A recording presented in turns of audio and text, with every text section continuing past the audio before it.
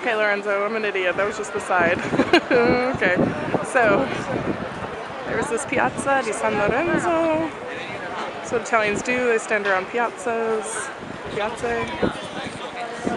Oh, look. Can you see that? Mm, see, I wasn't lying. Anyway. Oh, this file's gonna be huge. I'm sorry. Okay. So, okay, there's the front. All right, I'm gonna stand back and try to get a photo of you